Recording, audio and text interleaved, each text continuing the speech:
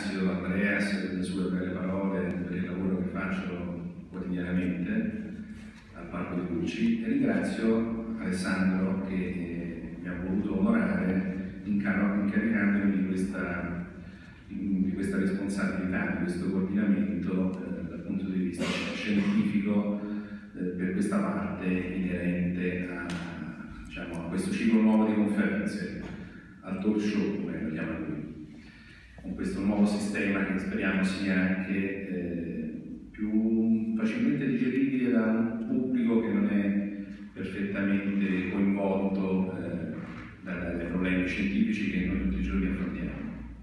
Già all'inizio, con cinque sovrintendenti, è una, un buon modo per rompere il ghiaccio sicuramente. Meglio 5 che uno solo.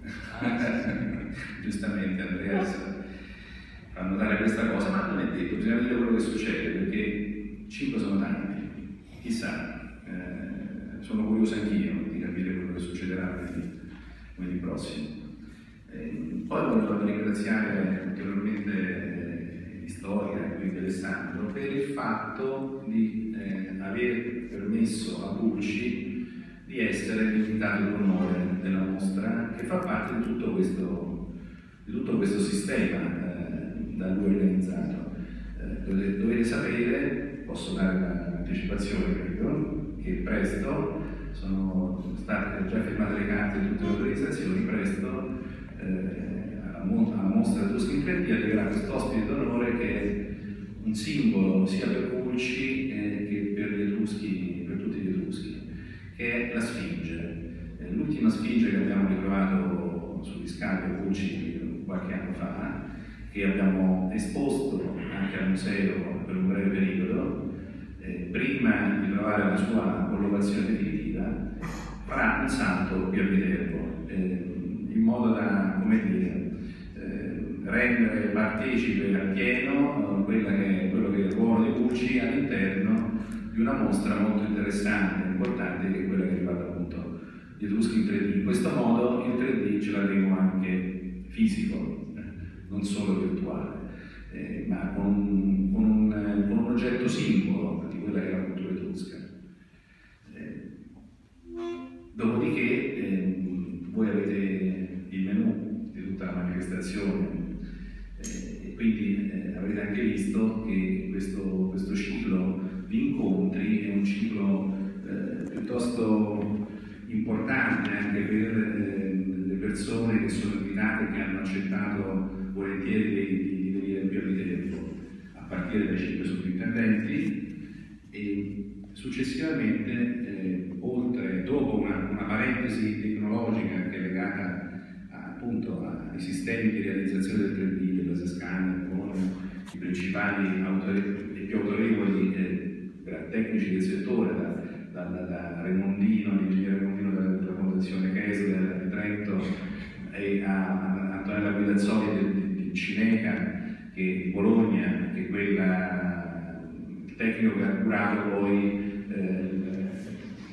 sì, esperienziatura con il personaggio di Agi, eh, quindi questo cartone molto didattico, e a Massimo Regni che è una delle risorse più importanti a livello di territorio, che è tarquinese, etrusco pieno anche lui, e che si occupa appunto di queste, di queste nuove tecnologie applicate dalle culturali da tanti anni la, prima, eh, il primo vero incontro con eh, un archeologo solo, o pochi archeologi, eh, ci sarà a gennaio, eh, ovviamente da dove si... 29 gennaio. 29, 29 gennaio. Il 29 gennaio e ovviamente da dove si comincia? Dall'inizio. Allora, dobbiamo parlare dei Vigambiani i Lavriani che, sono, eh, che è la cultura eh, indigena autoctona che a qualche misura si è eh, arricchita di contatti con l'esterno tali che poi hanno dato origine a quella che, quella che noi chiamiamo eh, la civiltà etrusca. Quindi Marco Pacciarelli, che è uno dei più importanti studiosi di questo periodo eh, in, in, Italia e in Europa, eh, insegna a Napoli e in più scava qui provincia di Viterbo, nella Val Tiberina. Eh, scava un insediamento che eh, ha le prime fasi di frequentazione eh, esattamente nel Milano Piani e ha tra l'altro anche la fase successiva di Lusca. Dopo l'apertura con Marco Pacciarelli e con Milano Piani non potevamo non onorare la sede, Viterbo, e, e Acqua Rossa non poteva essere scelta argomento migliore per fare ciò. Eh, I lunghi anni di scavo dell'istituto svedese ci saranno raccontati eh, in quell'occasione, il 19 febbraio, sì, sì, e soprattutto eh, ci sarà, avremo piacere di avere, di avere, sia uno dei protagonisti, Eva Risted, ma anche il neo direttore dell'Istituto Svedese di Roma, che è Christian Goransson, e, mh, con i quali potremo ripercorrere un po' quello che riguarda la storia dell'archeologia viterbese, una parte della storia dell'archeologia viterbese, anche legato il tutto a Gustavo Adolfo, eh, re di Svezia, che come tutti sapete famoso archeologo. Scusate l'interruzione, ma è una curiosità importante. Christian Gerritsen, che attualmente è il direttore di Schiavi, è stato il curatore della mostra Etruschi 3D nel 2013 a Stoccolma, dove siamo stati mesi, insomma, quindi è un nostro estimatore oltre che un, diciamo, direttamente coinvolto. Ecco. Ringrazio Alessandro per la precisazione, utilissima, visto che appunto eh, questa operazione è legata sempre e comunque anche alla mostra del così 3D. Eh, quindi, quindi, a tutti i relatori eh, sarà un po' una corazzata con gli occhi, dovranno necessariamente subire la visita alla dello Script 3D. Quindi con Christian Donaldson supponiamo che non avremo problemi, ecco. con gli altri non sappiamo. Eh, andremo andiamo avanti con il 26 febbraio con eh, il direttore del museo Faina di Orvieto, che è eh, Giuseppe Della Fina, che oltre che essere direttore di Orvieto è anche eh, docente di etruscologia e antichità italica all'Università dell'Aquila, è anche un uh, giornalista affermato anche sulle pagine di Archeo e non solo, e proprio dalla fortunata esperienza di una monografia da lui scritta per i tipi di Archeo, voci degli Etruschi, nasce eh, la sua, la sua diciamo, relazione perché eh, racconterà come è riuscito a comunicare così bene eh, gli aspetti quotidiani della vita degli Etruschi. Questo Andrea si conferma che questa, questa monografia è quella che eh, nella storia delle monografie di Archeo è una di quelle che ha avuto più, più successo esaurita quasi subito. Quindi anche per capire meglio il successo di questa, di questa operazione eh, incontreremo Giuseppe della Fina che ci illustrerà eh, sia eh, gli aspetti più tecnici di quello che lui ha da scrivere, ma soprattutto ci racconterà gli Etruschi, gli Etruschi in maniera tale che siano loro stessi a raccontarsi. Dopodiché proposito di comunicazioni, eh, parleremo della comunicazione quella televisiva. E chi meglio di il nostro collega Giampiero Zinger, che è un archeologo, che ha scritto già anche eh, delle cose per, per, storia nel passato e che è un aiuto regista di Superquart.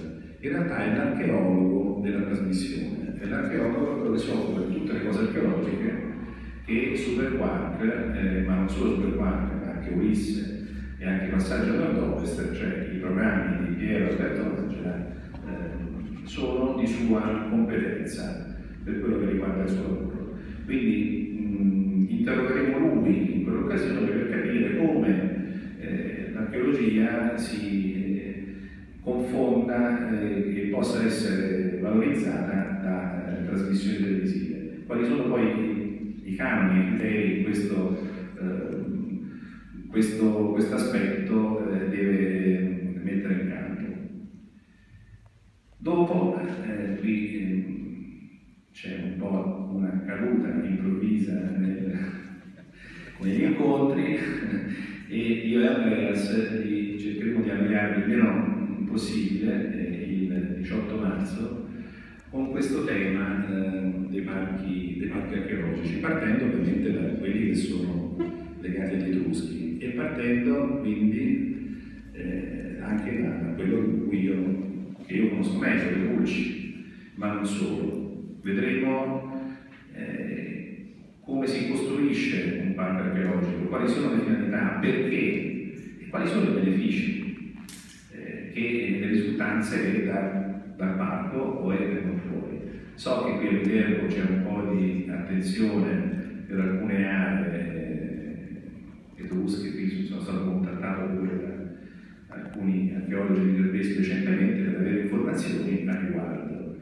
Eh, mi auguro che questa cosa possa servire da stimolo eh, che insieme si riesca a far capire che mh, ci vuole un, sicuramente un sacrificio importante eh, da parte delle amministrazioni, da parte da, della comunità, ma ehm, i ritorni eh, sia in numero, di, numero turistico anche in paesaggio, soprattutto nella conservazione del paesaggio, eh, anche io credo che sia una delle cose più importanti che possiamo spenderci in Italia, ma che dobbiamo a questo punto anche preoccuparci di conservare.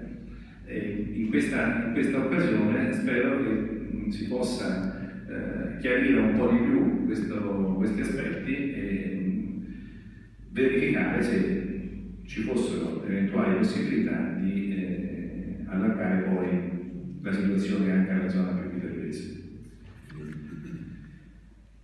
Fatto questo, l'8 aprile, prima con Giuseppe Della Fine avremmo sentito già a questo punto le, le voci degli etruschi, gli etruschi che si raccontano. Adesso ne vedremo i volti, le facce, eh, i canopi, eh, questo, questo, incontro con, con eh, Giulio Paolucci del Museo di Chianciano, che è quello che sicuramente conosce meglio. Ecco, nel, nel, penultimo numero, non quello che c'è adesso, ma il numero di dicembre di Archeo, c'è proprio un articolo, eh, vedete, sui canopi, che è fatto da Giuseppe Della Fina. Quindi abbiamo, in questo caso abbiamo mischiato voci e volti, ma eh, ovviamente per un fine. E Giulio, ehm, Giulio Volucci è sicuramente il maggior conoscitore delle facce etrusche, perché ha scavato necropoli ricchissime, intatte, ha avuto la fortuna di trovare eh, centinaia e centinaia di tombe intatte, con quasi tutte all'interno la raffigurazione del defunto grazie al suo vaso d'uomo. Cioè, vedete, sopra il vaso contenente le ceneri è, è rappresentata, scolpita, la faccia, la faccia dell'Etrusco. Non sempre bella, dobbiamo riconoscere, stilisticamente e qualitativamente eh, non, è, eh, non, è, questo eh, il problema. Eh, il fatto è che però riusciremo a capire come loro si vedevano, come loro si descrivevano. Poi, dulcis in fondo, il 15 di aprile, è tutta tra l'uccellino, eh, come si dice, per cui ci sarà un incontro eh, legato alla, alla, cucina etrusca, eh, di cui Archeo poi ha parlato eh, in molte occasioni, ma in questo caso l'incontro sarà con eh, la direttrice del Museo Archeologico della Maremma di Grosseto, Maria Grazia Ceruzza, che è un'archeologa, e con un antropologo, un famoso antropologo alimentare, che è Sergio Grasso. Eh, ricorderete le trasmissioni televisive di Sergio Grasso, ce n'è una che va ancora Grasso non troppo, eh, che va su Marco Polo adesso, insomma, Vediamo che cosa uscirà fuori tra l'incontro tra, tra un archeologo e un antropologo. Eh, mi auguro che quello che riusciranno a farci capire eh, in quella sede sia di buon auspicio alla Cina che andremo a fare successivamente. Sì. Conosco, conosco la materia. Qui siamo tutti tecnici eh, dell'alimentazione. E, concludo dicendo che siamo all'inizio dell'anno, voglio fare un augurio a tutti noi che ogni anno da qui in avanti sia l'anno degli Etruschi. Eh, l'anno scorso è stata intrapresa un'iniziativa legata all'anno degli Etruschi a livello a carattere territoriale, eh, forse non tanti mezzi, non so, ma eh, quest'anno mi sembra che eh, il programma dia ulteriore luce e brillantezza a quello che è un aspetto eh, fondamentale della cultura di questo territorio. Speriamo di continuare così. Grazie.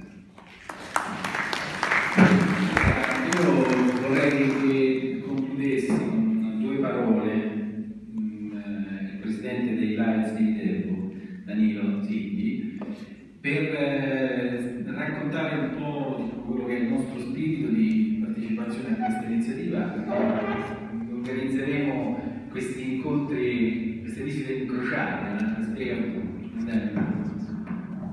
Grazie.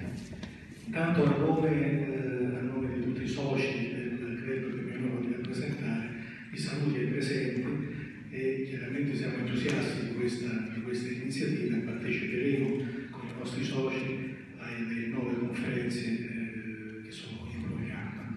Ma oltre a questo faremo anche attività di rete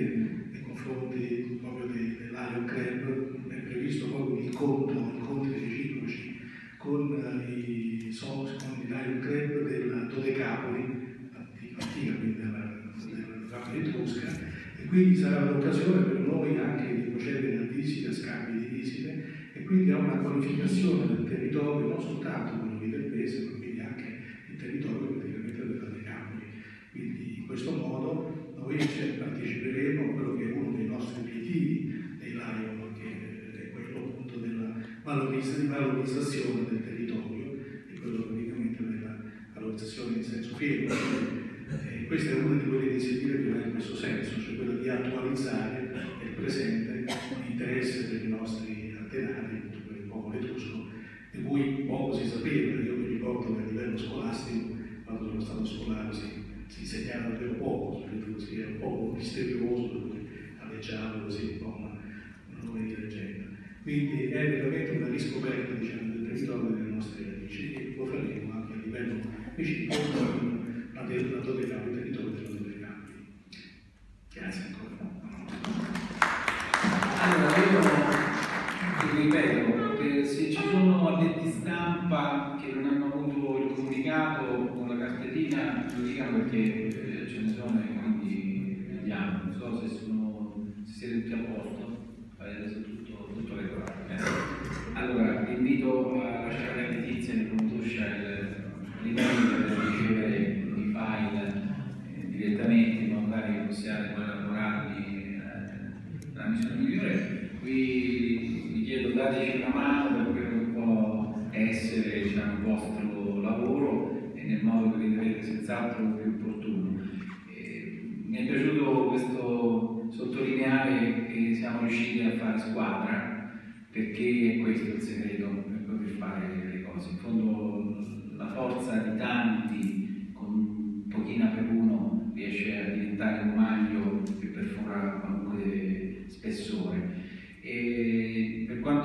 storia, ci siamo dati sempre un grande da fare, lo stiamo facendo, continueremo a farlo perché eh, è giusto che sia così e soprattutto perché qualcuno lo deve fare.